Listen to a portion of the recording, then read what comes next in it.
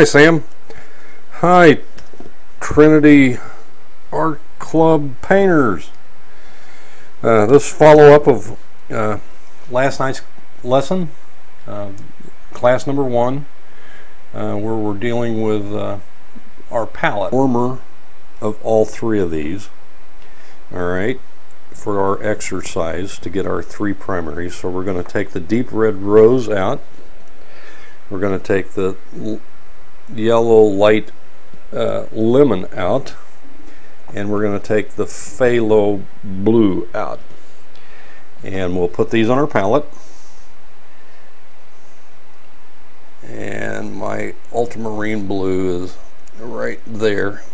I got a sloppy palette. I'm actually in the middle of another painting.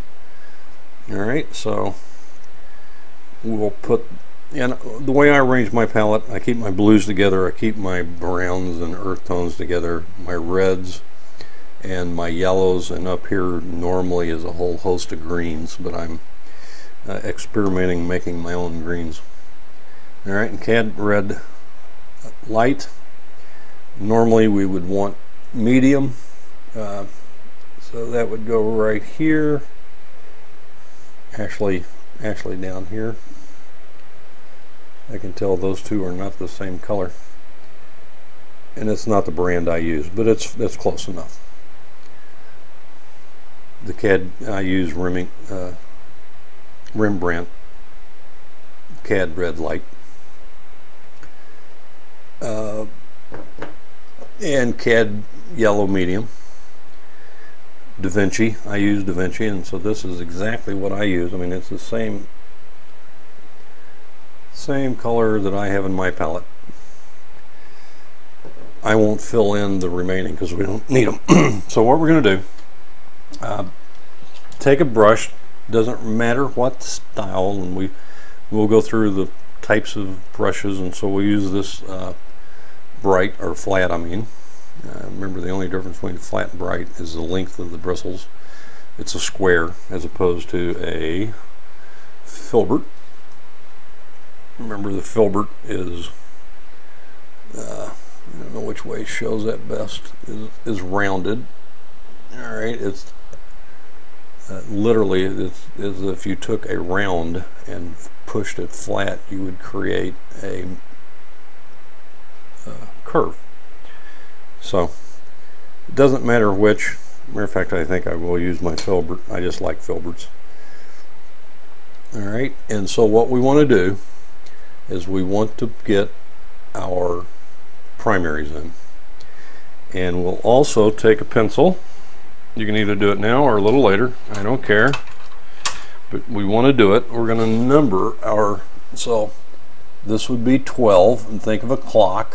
1, 2, 3, 4, 5, 6, 7, 8, 9, 10, 11, 12. Right? Okay, you can follow that. Uh, you can either use a little Turpenoid, which is a odorless mineral spirit. It's been refined to take out all of the bad uh, smells and what's harmful to you. It's you still wouldn't want to drink it and thin down and so we'll start with our yellow and we'll paint in our yellow alright nothing to it looks like I have a dirty brush you don't even have to be exact some of you will be more than others, our personality, but try to get pretty thick so that you're not seeing the white canvas below. And this yellow is an opaque, means that it is opaque. You can't see through it if you put it on as thick as you can. Some paints you put them on thick as you can. And, all right, so the next clean your brush wipe your brush or actually if you have uh, the way I do it remember in class well I don't want to do that. So I'm going to grab another brush and I'm going to do the exact same thing for my red. And red is at position number 8. So we're going to do position number 12, position number 4, and position number 8. And we'll take our red, what we're going to treat as our primary red, even though it's not really perfect. That's okay. We're beginning painters, and if we end up being, and that red covers a lot better than the yellow. All right, so two down. Then I'm going to get a third brush, uh, another filbert. Well, actually, it's a round. I don't have a, I don't see a small. I have another one. I just don't know where it's at. All right, and so now we're going to take. Let's see, we've got our yellow, our red, and so that must be our blue. And so at position number four, paint in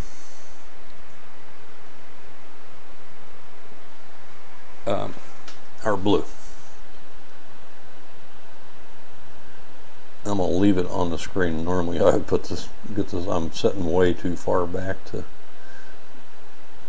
and I need some little medium to help it go in there a little better, help me cover it easier. So we're trying to get as close to the pure primary colors we can and these are pretty good. Not perfect but pretty dang good. And so now we're one fourth of the way done with our color wheel. Okay. Pretty good. So what we're going to do next we can either create number now what we're going to do now I'm going to go ahead and number those so I don't have to do it from memory. Uh, seven eight 9, 10, 11. All right. So in, we're either going to do position 2, 6, or 10. 2, 10, or 6. 2, 6, and 10, which are the secondary colors.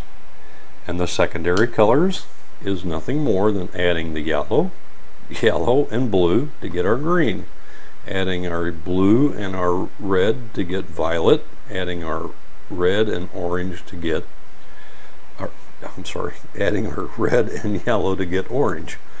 All right, so now I'm going to use one of these three. Uh, I think I'll use my red and my blue. I use my red brush with my blue. And this is the hardest color to mix the violet. As a matter of fact, I have I suggest that folks uh, buy violet because it is so hard to. And I'm not even going. Uh, here we go. So there is my violet. And the way you can really tell violet, and I'm just going to do this, well, here. So what we're going to do is we're going to come over here later. So let's go ahead, and I wished I had you do that earlier.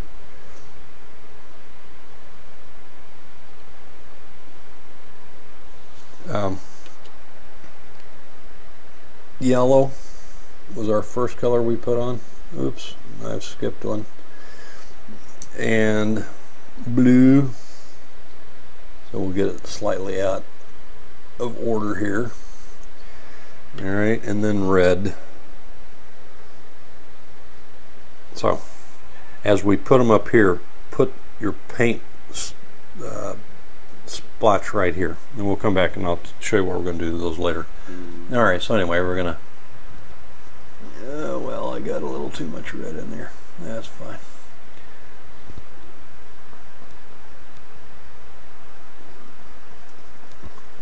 And again, the hardest color for you to mix that you're going to like is violet. It is, for at least for me. I, maybe there are some folks out there that can do it really well. I can't. And what I was going to show you, and what we're going to do is we're going to take it a little bit and mix. Well, that's a lot. So over here. There's a little bit. And we're going to take and mix just a lot of white with it and put it right there. And then we're going to mix very little and put right here. Well, Let me do it over. And you, just keep playing with it. Alright, so there's what that'll look like with some white. All I wanted to do just a little white there.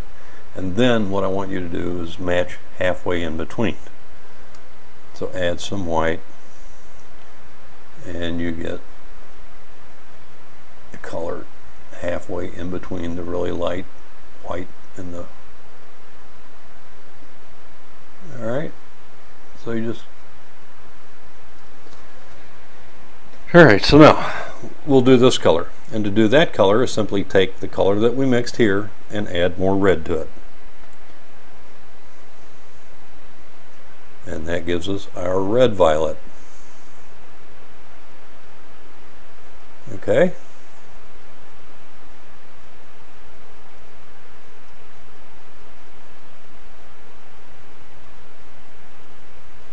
We won't put this will keep just for our primaries and secondaries. We won't put tertiary right? Now we're doing a tertiary and so now to get that we would add more blue to the to the original color of this. And that would be our blue violet. Needs a little more. And again this will be the hardest one you guys will do. Sorry about that. All right sorry about that. Back again. So anyway again the violets uh, all three of them hardest ones to do greens and oranges will have a lot more success so don't give up. Sh I should have started with the easier ones. Do the best you can here. And again, we're not going to put tertiary colors over here. These are just going to be our primary and secondary colors. Hopefully we got one, two, three, four, five, six. Good. We have one more down at the bottom. That's good. All right, so anyway, we have a violet, a red violet, and a blue violet. All right, I'm going to clean my brush. And since it's a dark color, I'm going to do the green with the same brush I have. I'm saved saved my yellow.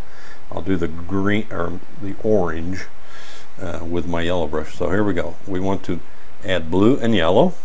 So we take some blue, take our blue and yellow, blue and yellow, and blue and yellow gives us green. And so the theory works. And we've proved it. And that's probably too dark a green. That's probably a blue closer to a blue green.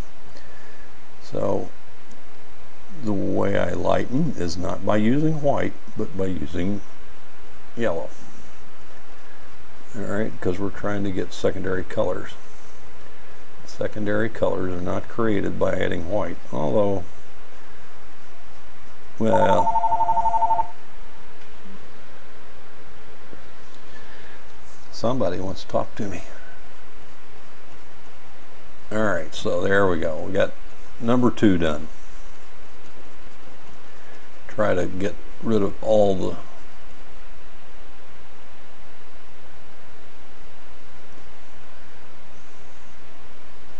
white of the canvas. all right and so had I had some left and I don't I don't have enough left but we would have then added yellow to it and created a yellow green. I think I'm going to have enough for the yellow green. I probably won't have enough for the blue green. Alright oh I forgot to put our green down there. Oh alright so I'll go back and put our green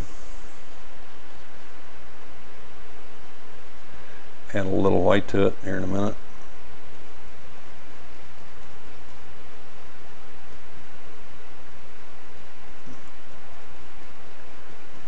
I'm going a little too fast because my camera only allows me 12 minutes of recording. And so I'm going faster and not thinking about what I'm doing. Oh. So now a blue-green.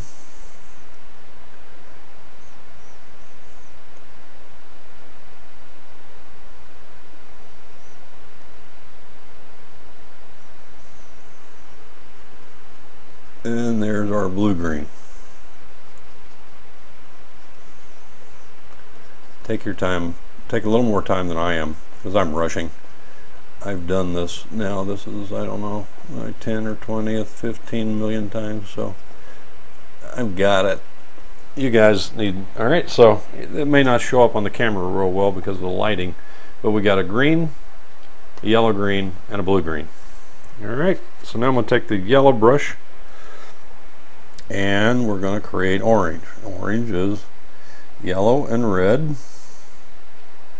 All right, yellow and red. That's way too orange, uh, red orange. That's pretty good. Maybe a little more yellow. All right. Yep, that's pretty good orange. We'll put it right down there. There's our orange. And that goes in position number 10. All right.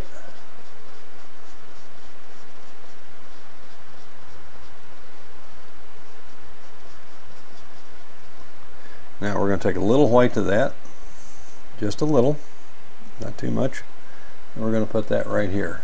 So that's our orange with just a little white, a little too much white. And here's our orange with a, a lot of white. And that's what we're going to do there. And then we want to try to get one right in the middle. There.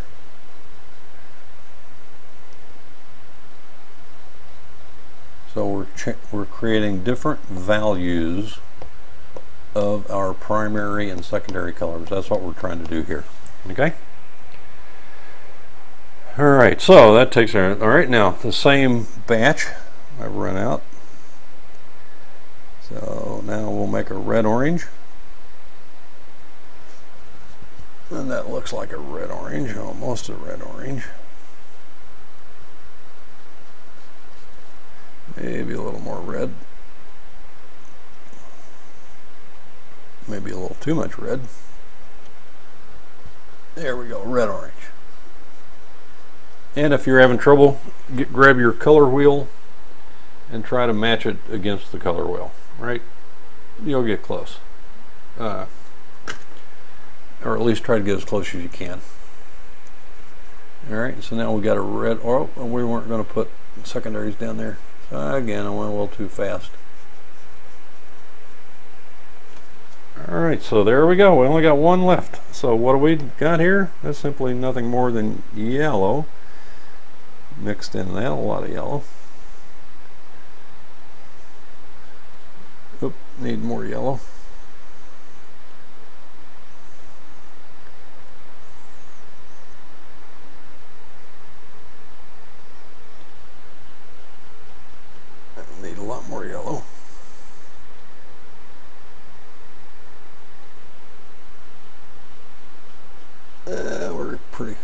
Pretty close there. I don't know if you can tell on the camera or not. Actually, I need a little more yellow.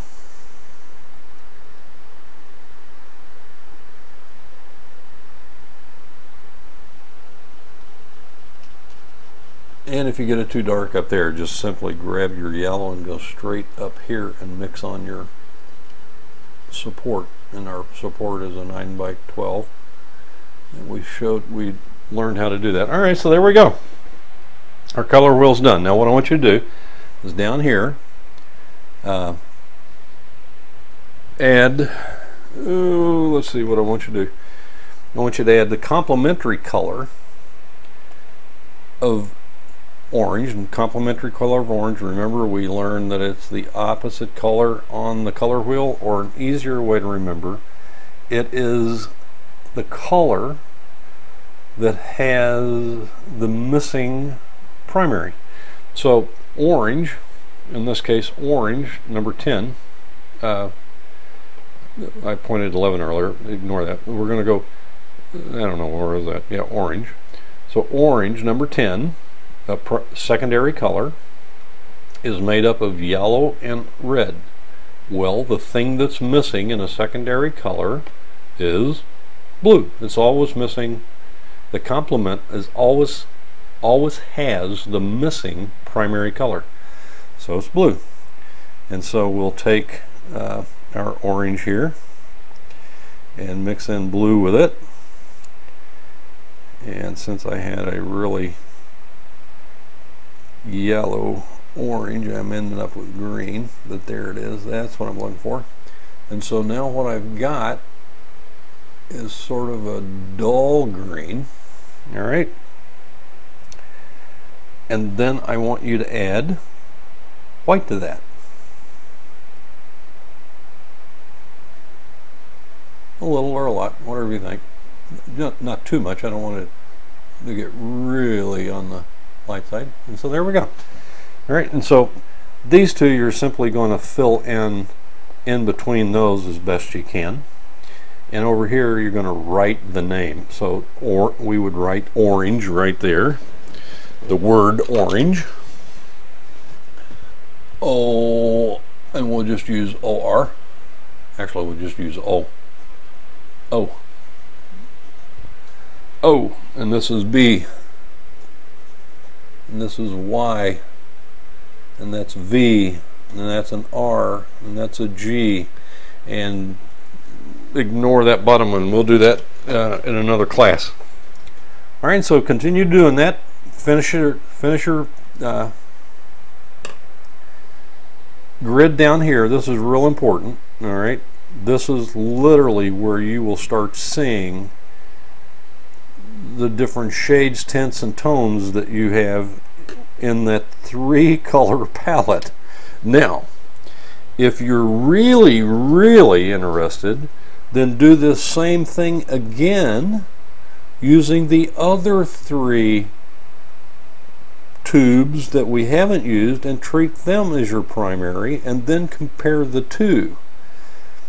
And you will see that you end up being able to create tons and tons and tons uh, of different hues with different values different hues, tints, and tones. And you will be, I hope, amazed and you will use this for a long time in our class. So keep it. Now, one other thing we're going to do is we're going to draw a Star of David. You can get a ruler after it dries. Anyway, I want you to draw a straight line between 10 and 2 and then down to 6. And so that triangle, can you see it? That triangle is our secondary colors. And then we're going to do the same thing. We're going to go from 12 to 8, 8 to 4, and 4 to 12 or 12 to 4. And so what we end up with is a Star of David that shows our primary colors at 12, 4, and 8.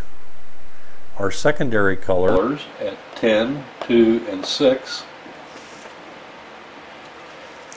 I'll have to go down here now. My other camera cut off my... So, you with me? You're following? So we'll have a Star of David, and that's our primary and secondary colors. And let's see if we can't name them now. Yellow, yellow-green, green, blue-green, blue, blue violet, violet, red violet, red, red orange, orange, and yellow orange. Finish your pattern and thank you very much. You guys are awesome and we'll see you next week. Goodbye.